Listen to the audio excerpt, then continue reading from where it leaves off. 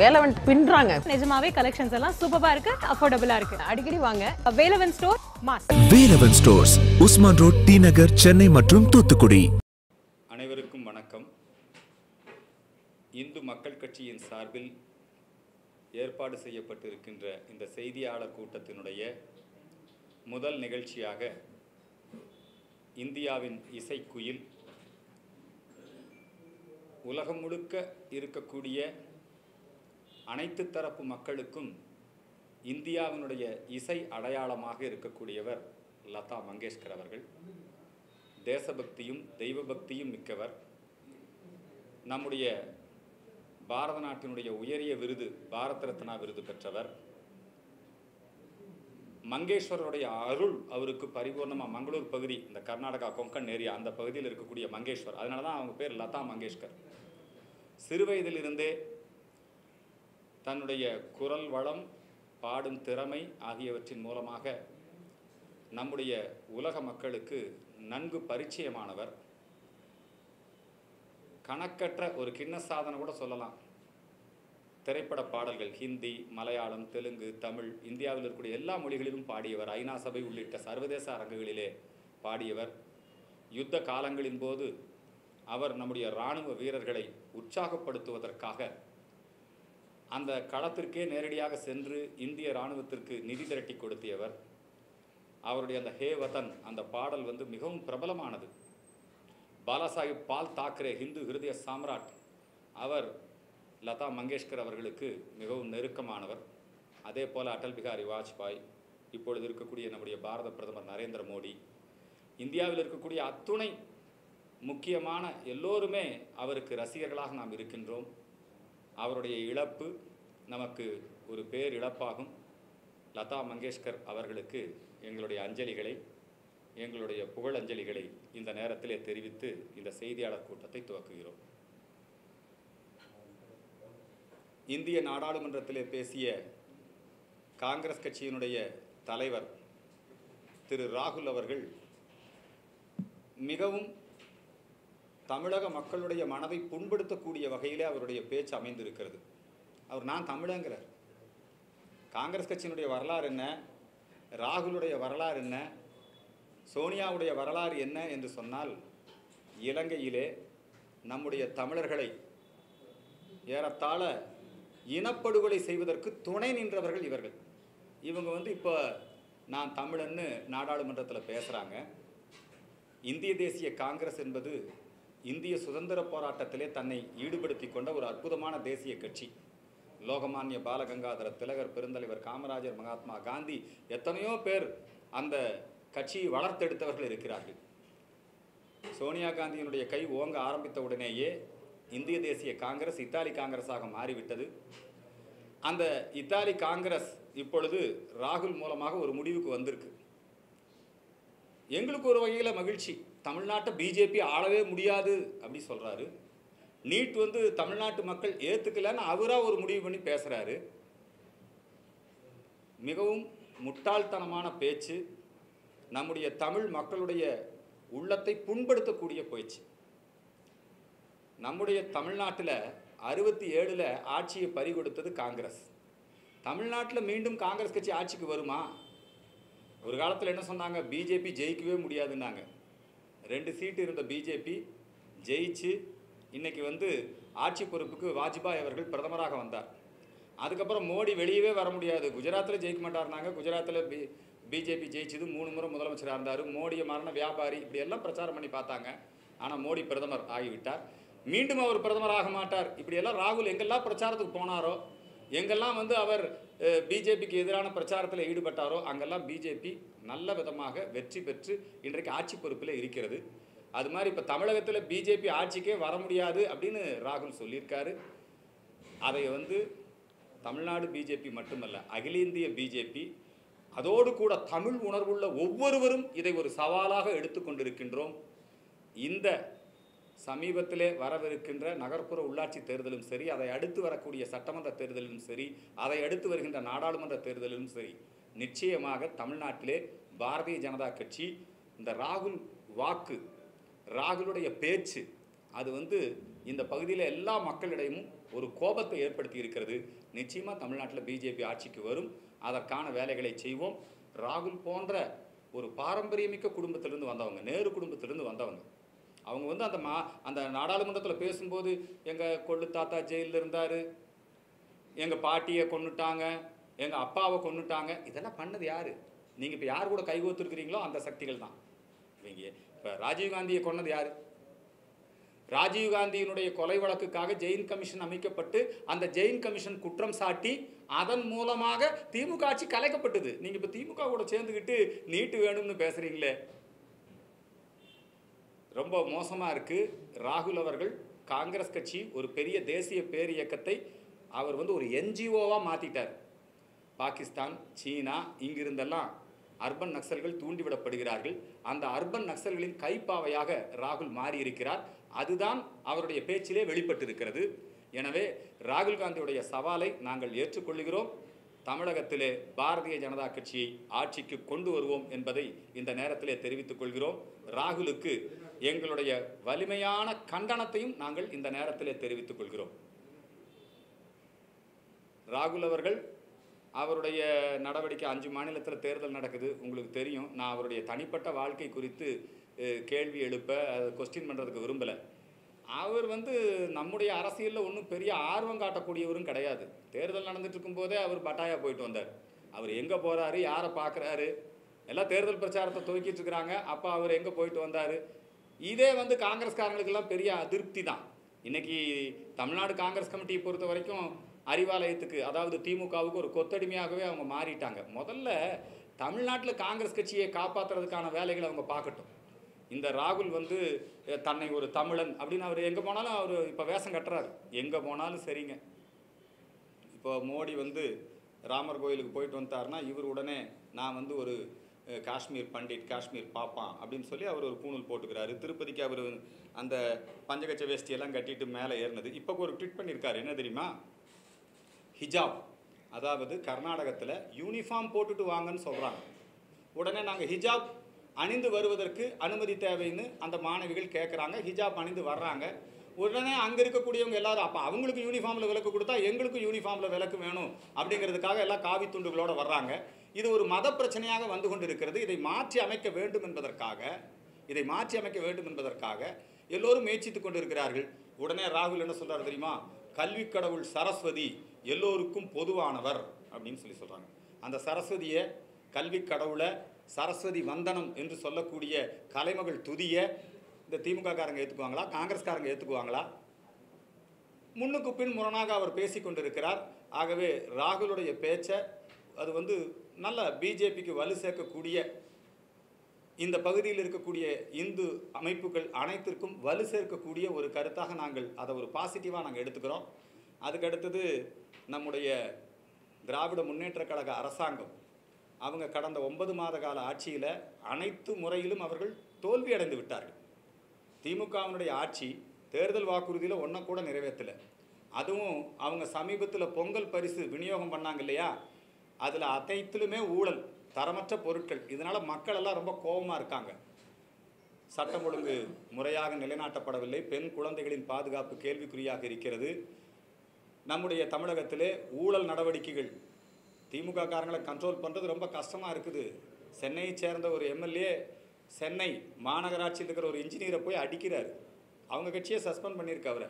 அது மட்டும் அல்ல நம்முடைய சபாநாயகர் அப்பாவு அவர் மேலே பார்த்தீங்கன்னா உயர்நீதிமன்றம் ஒரு ஒரு ஒரு அவர் மேலே நில மோசடி வழக்கு. அதை விசாரிங்கங்குது.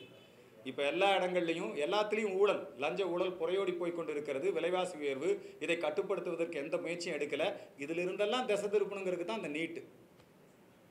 இதுக்கு தான் இந்திய அளவில் சமூக நீதி கூட்டமைப்பு. யாருக்கெல்லாம் கடிதம் எழுதுகிறாரு தெரியுமா? யாரெல்லாம் தாத்தா அப்புறம் மகன் அதுக்கப்புறம் பேரன் மூணு பேர். பரம்பரை பரம்பரையாக ஒரு குடும்ப கட்சியாக ஊழல் செய்து ஊரை கொள்ளையடித்து ஊழல் வழக்கிலே சிறை சென்ற அந்த குடும்ப கட்சிகளுக்கு தலைவர்களெல்லாம் லெட்டர் எழுதுறாரு. எந்தெந்த இயக்கங்களுக்கெல்லாம் எழுதுகிறாரு தெரியுங்களா? இந்த காலிஸ்தான் பிரிவினை கேட்கக்கூடிய இயக்கங்கள் காஷ்மீர் பிரிவினைவாத இயக்கங்கள் இந்தியாவில் பயங்கரவாதத்தை தூண்டுபவர்கள் பிரிவினைவாதத்தை தூண்டுபவர்கள் சாதி மதவெறி அரசியல் நடத்துபவர்கள் லஞ்ச ஊழல் பேர்வழிகள் இவங்களுக்கெல்லாம் கடிதம் எழுதுறாரு. என்னென்னு கடிதம் எழுதுறாரு? நாங்கள் சமூக நீதியை நிலைநாட்ட போகிறோம் சமூக நீதியை நிலைநாட்டுறதுக்கும் திமுகவுக்கு என்ன சம்பந்தம்? அவர் அந்த கடிதத்தில் குறிப்பிடுகிறார் மண்டல் கமிஷன். இந்த மண்டல் கமிஷனை கொண்டு வந்ததே ஜனதா கட்சி. ஜனதா கட்சியில் வாஜ்பாய் அத்வானி இவங்கெல்லாம் மந்திரியாக இருந்தாங்க. அந்த பீரியடில் தான் ஜனதா கட்சி மூலமாக அந்த மண்டல் கமிஷன் அமைக்கப்பட்டது. அதனைத் தொடர்ந்து மண்டல் கமிஷன் பரிந்துரைகளை அமுல்படுத்துவதற்கு காங்கிரஸ் தான் கடும் எதிர்ப்பு. காங்கிரஸ் தான் அந்த மண்டல் கமிஷனுக்கு எதிரான அனைத்து போராட்டங்களையும் தூண்டிவிட்டது. இதுக்கான ஆதாரங்கள் நிறைய இருக்குது இன்றைக்கு சமூக நீதியை நிலைநாட்டி கொண்டிருக்கக்கூடிய ஒரு கட்சி நிலைநாட்டி கொண்டிருக்கக்கூடிய ஒரு தலைவர்னா அது நரேந்திர மோடி பாரத பிரதமர் மோடி தான். இப்போ நம்முடைய இந்திய அளவில் இந்த மருத்துவ படிப்பில் இந்த இருபத்தேழு சதவீத இடஒதுக்கீட்டை அதை உறுதிப்படுத்தினது யாருங்க? சமூக நிதி நிலைநாட்டினது யார்? இந்த பிஜேபி செஞ்சதுக்கும் அதே மாதிரி அதிமுக கிராமப்புற ஏழை எளிய மாணவர்களுக்கெல்லாம் வந்து ஏழு புள்ளி அஞ்சு சதவீத இடஒதுக்கீடு. இன்றைக்கி நிறைய அரசு பள்ளி மாணவர்கள் நீட்டில் பாஸ் ஆகி இன்றைக்கி வந்து மருத்துவக் கல்லூரியில் சேர்றாங்கன்னா அதுக்கு காரணம் என்ன? எடப்பாடி பழனிசாமி ஏழு புள்ளி ஐந்து சதவீத இடஒதுக்கீடு அரசு பள்ளிகளில் பயிலுகின்ற மாணவர்களுக்கு கொண்டு வந்தார். இதுக்கெல்லாம் அவர் பேர் பேர் வச்சுக்கிறார். யாருங்க? இவங்க செய்த சாதனைகளை எல்லாம் ஏதோ திமுக இவங்க திமுக எப்பவுமே துரோகம் தான் பண்ணியிருக்கு சமூக நீதிக்கு. சாதி வெறியை வளர்ப்பது திமுக மத வெறியை வளர்ப்பது திமுக. அவர் இங்கே தமிழ்நாட்டில் நல்ல நிர்வாகம் பண்ண முடியல. தமிழ்நாட்டில் முழுமையாக அனைத்து விஷயத்துலேயும் தோல்வி மக்கள் அதிருப்தி இதை திசை மாத்துறதுக்காக இப்போ வந்து இந்த ராஜீவ் காந்தி ராகுல் அவரை தூண்டி விட்டுங்க பார்லிமெண்ட்டில் எங்க ராகுல் நீட் தேர்வு கொண்டு வந்தது யார்? நாடு முழுக்க எல்லா காங்கிரஸ் மாநிலத்திலையும் நீட் தேர்வு இருக்குது. இங்கே மட்டும் என்ன?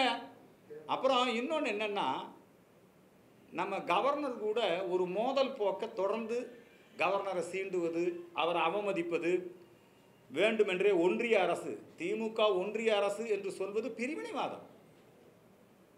இவங்க அந்த பிரிவினைவாத உள்நோக்கத்துடன் தான் அதை சொல்லிக்கிட்டு இருக்கிறாங்க. இதன் மேலே நடவடிக்கை எடுக்கப்பட வேண்டும். இப்படி கவர்னர் வந்து அவர் ஏதாவது நடவடிக்கை எடுத்தார்னா உடனே கவர்னரை வந்து என்ன நாகாலாந்து பருப்பு இங்கே வேகாது?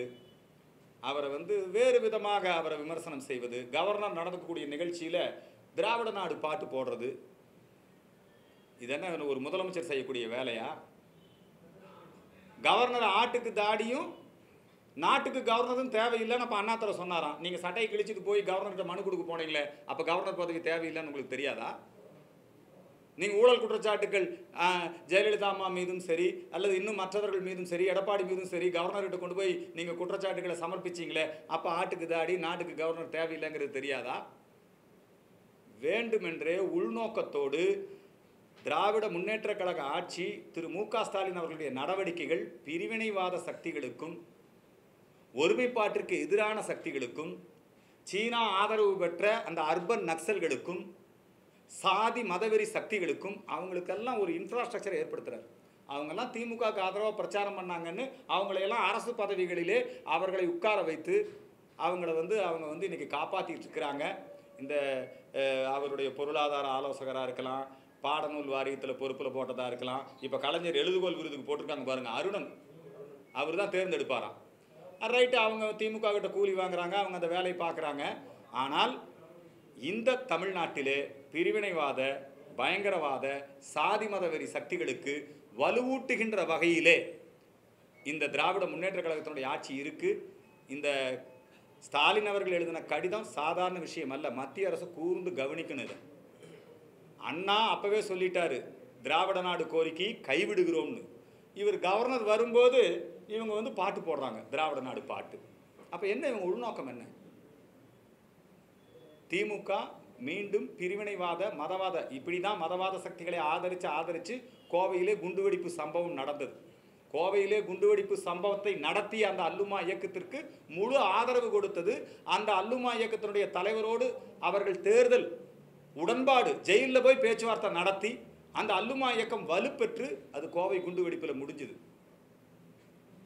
அதனால் மீண்டும் தமிழகத்திலே சாதி மத அடிப்படையிலான சக்திகளை பிரிவினை சக்திகளை வெளிநாட்டு தேச துரோக சக்திகளை வளர்த்து விடுகின்ற அந்த போக்கு ரொம்ப ஆபத்தானது. மத்திய அரசாங்கம் இதை கவனிக்கணும். திமுக அரசாங்கத்திற்கு மத்திய அரசாங்கம் இந்த தகுந்த நடவடிக்கை எடுத்து திமுகவினுடைய அரசியல் கட்சி அங்கீகாரத்தையே ரத்து செய்யணும். இவங்க வந்து இந்தியாவை வந்து ஒன்றிய அரசுன்னு சொல்கிறது இந்த மாதிரி பிரிவினைவாதம் பேசுறது நம்முடைய பாரத பிரதமர் நரேந்திர மோடி அவர்களை கொலை செய்ய சதித்திட்டம் தீட்டிய அந்த ஸ்டேன் பாதிரியாருடைய படத்துக்கு போய் மாலை அணிவிச்சு மரியாதை செலுத்துவது கவர்னரை மிரட்டுறது இதெல்லாம் வந்து சரியானது அல்ல. இது விஷயத்திலே மத்திய அரசு வெகு தீவிரமான நடவடிக்கை எடுக்க வேண்டும். இப்போது நகர்ப்புற உள்ளாட்சி தேர்தல் வருது. எல்லா இடங்கள்லையும் பாருங்க அதிமுக பாரதிய ஜனதா கட்சியினுடைய வெற்றி வாய்ப்புள்ள அந்த வேட்பாளர்கள் அவங்களுடைய வேட்புமனு தாக்கலையே ஏதாவது ஒரு காரணம் சொல்லி ஏன்னா இது இந்திய தேர்தல் கமிஷன் நடத்தக்கூடிய தேர்தல் அல்ல. இதை நடத்துறது தமிழ்நாடு தேர்தல் கமிஷன். இதை நடத்துறது தமிழ்நாட்டிலே திமுகவினுடைய அந்த அரசாங்கத்தினுடைய அதிகாரிகள் நடத்துகிறாங்க அவங்க முழுக்க முழுக்க திமுகவுக்கு சாதகமாக உள்ளூர் மாவட்ட செயலாளர் உள்ளூர் மந்திரி என்ன சொல்கிறாரோ அந்த வேட்புமனுவை நிராகரிக்கிறாங்க. ஜனநாயகத்துக்கு விரோதமா? சட்டவிரோதமா? ஒட்டஞ்சத்திரம் பகுதியில் அதிமுக வேட்புமனு நிராகரிக்கப்பட்டிருக்கிறது பிஜேபி வேட்புமனு நிராகரிக்கப்பட்டிருக்கிறது. இப்படி பல இடங்களிலும் திமுகவினர் தங்களுடைய அதிகார துஷ்பிரயோகம் தங்களுடைய அராஜக நடவடிக்கைகளை அவர்கள் இப்பொழுதே துவங்கி விட்டார்கள்.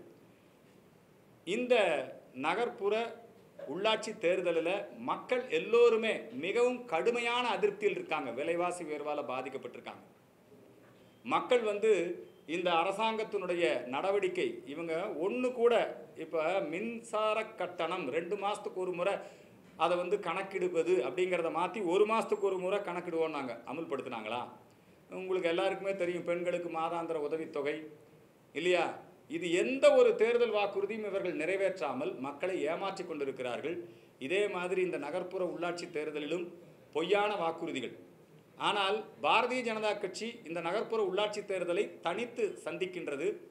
பாரதிய ஜனதா கட்சிக்கு முழுமையான ஆதரவை இந்து மக்கள் கட்சி தெரிவிக்கிறது. பாரதிய ஜனதா கட்சிக்காக தமிழகத்திலே தாமரை ஜெயிக்க வேண்டும் என்பதற்காக தமிழ்நாடு முழுக்க இந்து மக்கள் கட்சி ஏன்னா இன்னைக்கு மோடி அவர்களுடைய அனைத்து திட்டங்களுமே உள்ளாட்சி அமைப்புகளுக்கான திட்டங்களாகத்தான் இருக்கிறது. அது வந்து நீங்கள் உள்ளாட்சி அமைப்புகள்னால் நகராட்சி மாநகராட்சி இந்த அமைப்புகளுக்கு தான் தேர்தல் நடக்குது. ஸ்மார்ட் சிட்டி திட்டம் பொலிவுறு நகர திட்டம் மூலமாக ஏராளமான நிதி ஒதுக்கப்பட்டு தமிழ்நாட்டிலேயே பல இடங்களில் பொலிவுறு நகர திட்டங்களின் கீழ் நல்ல சிறப்பாக பணிகள் நடைபெற்று கொண்டு இருக்கிறது அது சென்னையாக இருக்கலாம் கோவையாக இருக்கலாம் எல்லா இடங்களையும் நடக்குது. அதே மாதிரி இல்லங்கள் தோறும் குடிநீர். அதற்காக திட்டம் வகுக்கப்பட்டு அந்த திட்டம் இப்பொழுது ஜலஜீவன் திட்டம் செயல்பாட்டிற்கு வந்து கொண்டிருக்கிறது.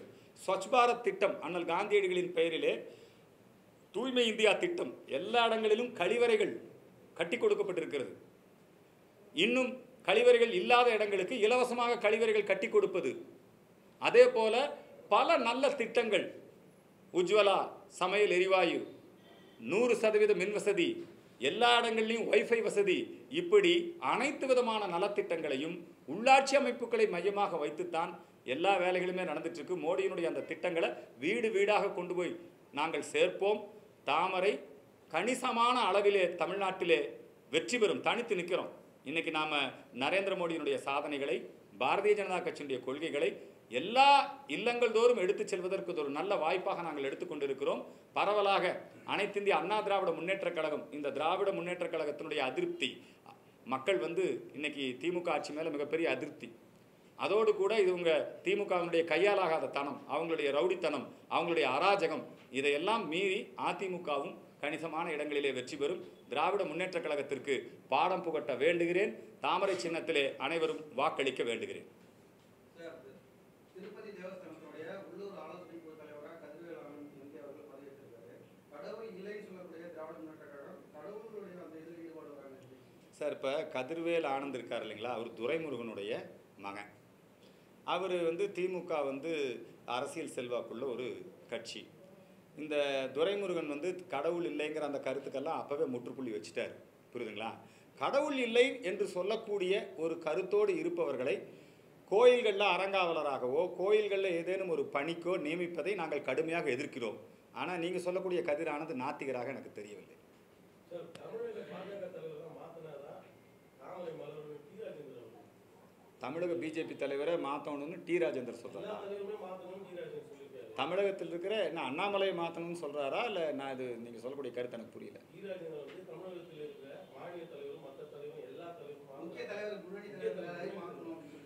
டி ராஜேந்தர் வந்து தமிழ்நாட்டில் எப்படியாவது பிஜேபி நல்லா வளர்ந்து வரணும்னு நினச்சிட்டு அவருடைய கருத்துக்களை சொல்கிறாரு ஆனால் இப்போ இருக்கக்கூடிய பிஜேபி தலைவர் திரு அண்ணாமலை அவர்கள் இன்றைக்கு வெகு சிறப்பாக செயல்பட்டு கொண்டிருக்கிறார். அண்ணாமலைக்கு உறுதுணையாக இருக்கக்கூடிய பிஜேபி டீம் ரொம்ப நல்ல விதமாக வளர்ச்சி பாதையில் இப்போ இது வரைக்கும் எடுக்காத ஒரு முடிவு அண்ணாமலையுடைய தலைமையில் எடுத்திருக்கிறாங்க தனித்து தேர்தலிலே போட்டியிடுவது கட்சி தொண்டர்கள் பாதிக்கப்பட்டால் உடனடியாக அவர்களுக்கு தேவையான உதவிகளை செய்வது.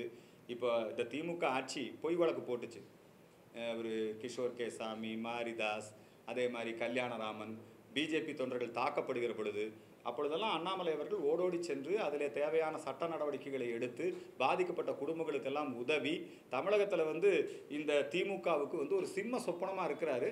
அவர் நல்ல விதமாகத்தான் கட்சியை வளர்ச்சி பாதையிலே எடுத்து சென்று கொண்டு இருக்கிறார் இந்த நல்ல தலைவரை டி ராஜேந்தரும் பயன்படுத்திக்கணும். டி ராஜேந்தருக்கு வந்து தமிழ்நாட்டில் தாமரை மலரணுங்கிற எண்ணம் நீண்ட காலமாக உண்டு. அவர் மோடியினுடைய ஆதரவாளர் தான். மோடியினுடைய சாதனைகளை சொல்லிக்கிட்டே இருக்கிறாரு. ஆகவே அவரும் வந்து இந்த உள்ளாட்சி தேர்தலிலே தாமரை தனித்து களம் காண்கிறது. எனவே அவரும் வந்து இந்த உள்ளாட்சி தேர்தலிலே பிஜேபிக்கு பிரச்சாரத்திற்கு வர வேண்டும் என்கின்ற கோரிக்கையை முன்வைக்கிறேன். ஆமாம் அதாவதுங்க தமிழ்நாடு மாநில காங்கிரஸ் கமிட்டியினுடைய தலைவர் அழகிரி சனாதனத்தை அழிப்போங்கிறார். காங்கிரஸ் கட்சி கொள்கை அதான் தமிழ்நாடு மாநில காங்கிரஸ் கமிட்டி தலைவர் அழகிரி வந்துங்க அவங்க கட்சியை வளர்த்துவதை விட அவங்க திமுகவை மனம் குளிர வைப்பதிலும் திமுகவில் ஏதாவது ஒரு பதவியை பிடிச்சிக்கணுங்கிறதுக்காக அவங்க வந்து காங்கிரஸ் கட்சி கொள்கையே கிடையாதுங்க. அதுக்கெல்லாம் இவங்க வந்து காமராஜரை அவமானப்படுத்துகிறாங்க திமுகவை சேர்ந்தவங்க. ஆனால் காங்கிரஸ் கமிட்டி வேடிக்கை பார்த்துக்கிட்டு இருக்குது. அதனால் அழகிரி வந்து ஒரு கொத்தடிமையாக செயல்படுகிறார் என்பது எல்லோரும் அறிந்த ஒரு விஷயம் தானே. திமுக செய்கிற எல்லா காரியத்தையும் காங்கிரஸுக்கு கொள்கை வேறையாக இருக்கலாம். இப்போ காங்கிரஸுடைய கொள்கை என்ன? ராஜீவ்காந்தி கொலையாளிகளை அவர்கள் தண்டிக்க வேண்டுங்கிறது காங்கிரஸுடைய கொள்கை. திமுகவுடைய கொள்கை எழுவர் விடுதலை என்று சொல்லுகிறார்களே அதில் அழகிரியுடைய நிலைப்பாடு என்ன? அது அந்த நிலைப்பாட்டை க திமுக ஏற்றுக்குமா இப்படி பல்வேறு விஷயங்களை நம்ம சொல்லிக்கொண்டே செல்லலாம். அது மட்டுமல்ல அங்கே இருக்கிற காங்கிரஸ் கட்சிக்காரன் டி கே சிவகுமார் என்ன பண்ணுறாருன்னா அங்கே வந்து தமிழ்நாட்டுக்கு தண்ணியே வரக்கூடாது மேகதாதுல அணை கட்டணும்னு பெரிய அரசியல் நிர்பந்தத்தை ஏற்படுத்துகிறாரு இவர் அந்த சிவகுமாரை கண்டித்து ஒரு அறிக்கையும் கொடுக்கல. திமுகவும் சொல்லலை. அதே மாதிரி இந்த தமிழ்நாடு காங்கிரஸ் கமிட்டியில் ஒரு இடம் ரெண்டு இடம் இதுக்காக போய் ஒட்டுமொத்தமாக காமராஜரையும் தமிழ்நாடு காங்கிரஸ் கமிட்டியையும் தமிழ்நாடு காங்கிரஸ் தொண்டர்களையும் அறிவாலயத்திலே அடமானம் வைத்திருக்கிறார்கள். தொடர்ந்து அவமானப்படுத்திட்டே இருக்கிறாங்க. துரைமுருகன் என்ன சொல்றாரு? அந்த அளவு காங்கிரஸ் கட்சிக்கு ஓட்டு வங்கி இல்லைன்னு தெளிவாக சொல்றாரு துரைமுருகன். ஜோதிமணியை வெளியே கழுத்து பிடிச்சி அனுப்பிச்சிட்டாங்களே வெளியே போ. சொன்னாங்களா இல்லையா? எல்லாம் வீடியோ காட்சி பார்த்தீங்களா இல்லையா? இத்தனைக்கு அப்புறமும் வந்து அவர் ராஜீவ்காந்தி நீட் நீட் நீட்டுன்னு பேசுறாரு அங்கே போய்.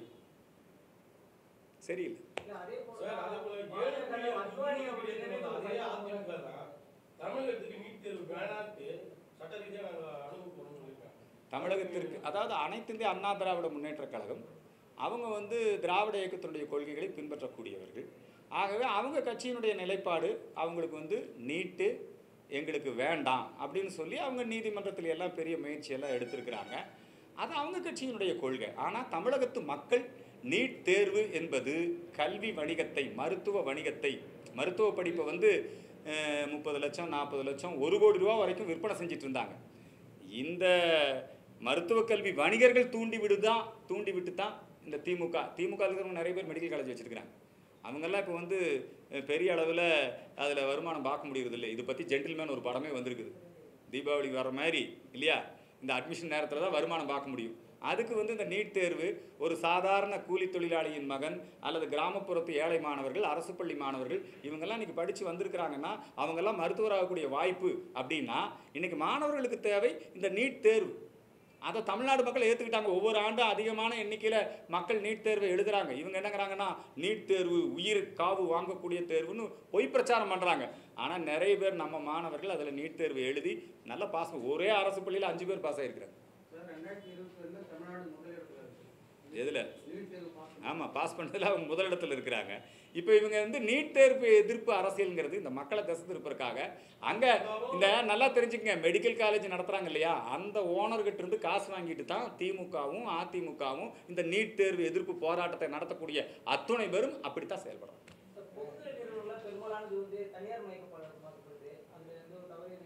நஷ்டத்தில் இயங்கக்கூடிய பொதுத்துறை நிறுவனங்கள் அதை வந்து ஒயிட் எலிஃபண்ட் அப்படி சொல்லி சொல்லுவாங்க. அதை தனியார் மயமாக்குவது அதனுடைய பங்குகளை அதை வந்து நிர்வாகத்தை மேம்படுத்துறதுக்காக சில நடவடிக்கைகளை மத்திய அரசாங்கம் எடுத்திருக்குது. எல்ஐசியில் நல்ல சர்வீஸ் கிடைக்கணும் அப்படிங்கிறதுக்காக அதை தனியார் மயமாக்கக்கூடிய அந்த பங்குகளை விற்பனை செய்யக்கூடிய குறிப்பிட்ட அளவு பங்குகளை விற்பனை செய்யக்கூடிய அந்த முடிவை எடுத்திருக்கிறாங்க. அது வரவேற்கத்தக்க முடியும் அரசாங்கத்தினால கொடுக்க முடியாத சூழலை இதுவரை இப்படி உருவாக்கி வச்சுக்கிட்டு இருக்காங்க. அதை சரி பண்ணணும் அப்படிங்கிறது தான் இந்த நடவடிக்கை. சார் நீங்கள் அரசாங்கம் பஸ் ஓட்டுது. ஓட்டுதா இல்லையா? நஷ்டத்தில் தான் ஓடுது. தனியார் பஸ் ஓட்டுறாங்க. அரசு பஸ்களை எல்லாம் ஏன் வந்து தனியார் ஓட்டுற பஸ் லாபத்தில் ஓடுது? அரசாங்க பேருந்து ஏன் நஷ்டத்தில் ஓடுது? நாட்டை தனியார் கையில் இல்லை. இப்போ பார்த்தீங்களா மறுபடியும் நீங்கள் உடனே அப்படி போயிடக்கூடாது. அதெல்லாம் அதில் நம்ம கொள்கை. எந்த சர்வீஸ் ஓரியன்ட் விஷயம். இந்த விஷயத்தில் நல்ல சர்வீஸ் கிடைக்கணும் மக்களுக்கு. அதுக்காக நம்ம பண்ணுறோம் நீங்கள்லாம் இந்த எல்ஐசியில் இந்த மெடிக்ளைம் இதெல்லாம் நீங்கள் பார்க்குறீங்க அதுல எல்லாம் தனியாரை ஈடுபடுத்தினால் அதில் நல்ல சர்வீஸ் கிடைக்கும். அந்த மக்கள் நலனை கருத்திலே கொண்டு தான் இந்த முடிவு எடுக்கப்பட்டிருக்கிறது ஒட்டுமொத்தமாக தனியார் மயமாக்குதல் என்பது பிஜேபியுடைய கொள்கை அல்ல இந்துத்துவா கொள்கை அல்ல.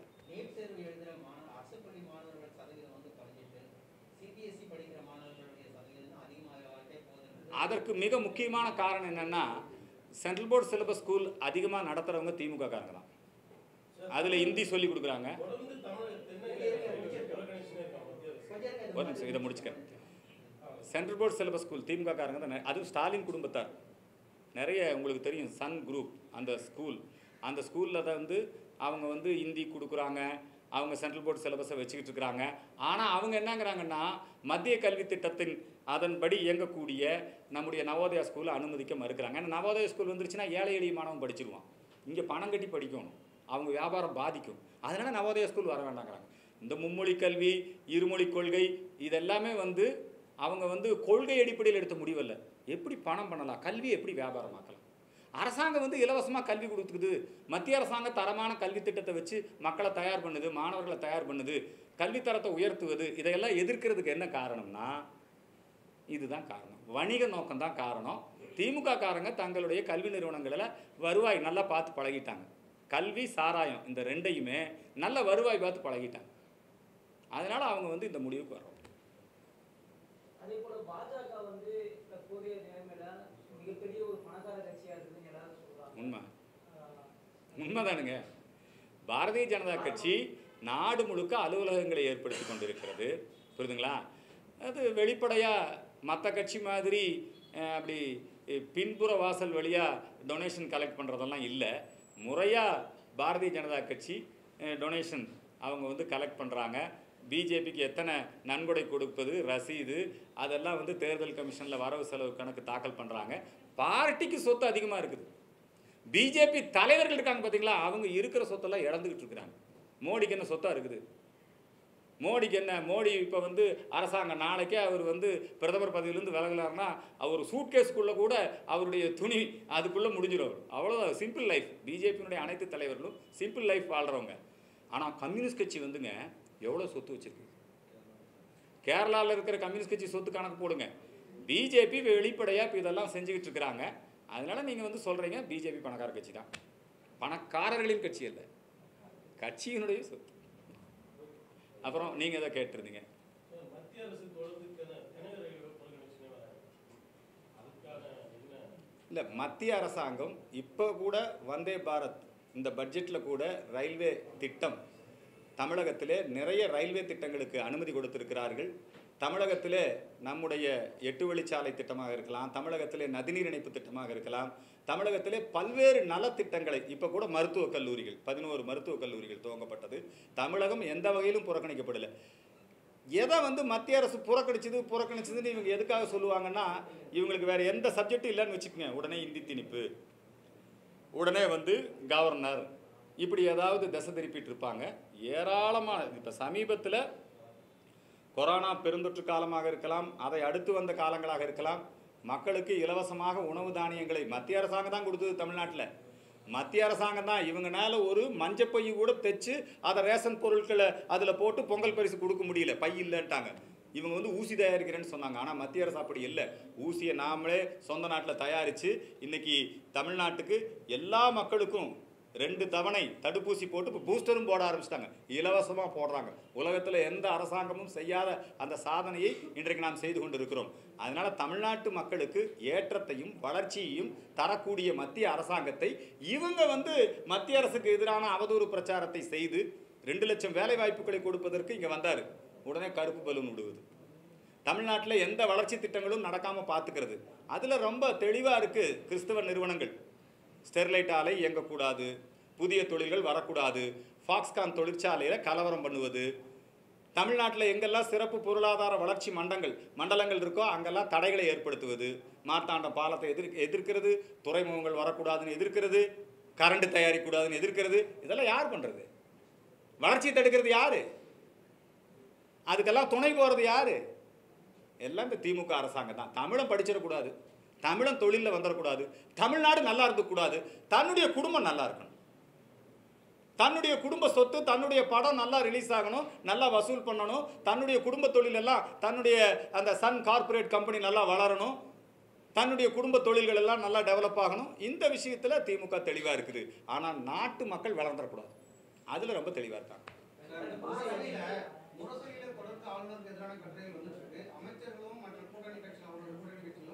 ஆளுநருக்கு எதிரான கருத்துக்களை ஆளுநருக்கு எதிரான கருத்துக்களை பேச சொல்லி மத்திய மாநில அரசாங்கத்தினுடைய உறவை சீர்குலைக்கணும்னு ஸ்டாலின் இது விஷயத்தில் விழிப்புணர்வோடு இருக்கணும். கவர்னரை வந்து ஒருமையில் அசிங்கமாக ஏகவசனத்தில் மதுரையை சேர்ந்த ஒரு திமுக பேச்சாளர் தொடர்ந்து பேசி கொண்டிருக்கிறார். திமுகவினுடைய அந்த பொறுப்பிலே வகிக்கக்கூடியவர்கள் திமுகவினுடைய ஐடி விங் இவங்கெல்லாம் கவர்னருக்கு எதிரான அருவருக்கத்தக்க ஆபாசமான விமர்சனங்களை முன்வைக்கிறார்கள். இதை வந்து மத்திய அரசாங்கம் நடவடிக்கை எடுக்கணும் இவங்க மேல.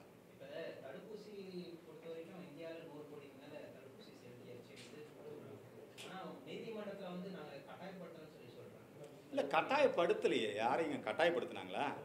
இது வந்துங்க சில கம்யூனிஸ்ட் கட்சி அது சார்ந்தவங்க இந்த சீனாவிலிருந்து தூண்டிவிடப்படக்கூடியவங்க என்னங்கிறாங்கன்னா இந்த தடுப்பூசி வந்து கட்டாயப்படுத்தி போடக்கூடாது அப்படி சொல்லி சொல்கிறாங்க அவங்க வந்து தடுப்பூசி குறித்து சந்தேகத்தை எழுப்பிக்கிட்டே இருக்கிறாங்க. இது வந்து தடை செய்யப்பட வேண்டிய ஒரு பிரச்சாரம். இந்த கொரோனாவுக்கு வந்து உலகம் முழுக்க வேர்ல்டு ஹெல்த் ஆர்கனைசேஷன் அதனுடைய வழிகாட்டுதலின்படி நாம் வந்து மருந்து தயாரித்து தடுப்பூசி தயாரித்து மக்களுக்கு போட்டுக்கிட்டு இருக்கிறோம். யாரையும் கட்டாயப்படுத்தலை. இன்னும் கட்டாயப்படுத்தணுங்கிறது எங்கள் நோக்கம். கொரோனா வந்து ஒரு பெருந்தொற்று. வேகமாக பரவக்கூடிய நோய். அந்த தடுப்பூசி எல்லாரும் போ நான் தடுப்பூசி போட்டுக்க மாட்டேன். எனக்கு இந்த ஊசி போடுறதுக்கு பிடிக்கல அப்படின்னு அவன் இருக்கான்னா அவன் மற்றவங்களுக்கு நோயை பரப்புறதுக்கு முயற்சி பண்ணுறான்னு அர்த்தம். அவங்களையெல்லாம் அந்த இந்த கொரோனா சட்டத்தில் அவங்களெல்லாம் கைது பண்ணணும். அதனால் இதில் கட்டாயப்படுத்துறதுங்கிற பேச்சே கிடையாது. அது தப்பு. நன்றி வணக்கம். மீண்டும் புதன்கிழமை சந்திப்போம். பா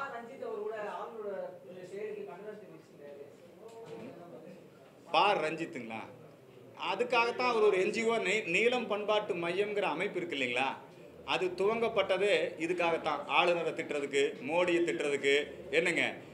அப்புறம் இன்னொரு ஜாதிக்காரனை வந்து விமர்சனம் பண்ணுறதுக்கு இதுக்காகத்தான் அந்த அமைப்பே நீளம் பண்பாட்டு மையத்தோட வேலையை மாட்டுக்கறியை ப்ரொமோட் பண்ணுறது இதுக்காகத்தான் அவங்க வந்து அதை பண்ணிட்டு இருக்கிறாங்க. அதனால அவர் விமர்சனம் பண்ணியிருக்கிறதுல ஒன்றும் வியப்பில்லை.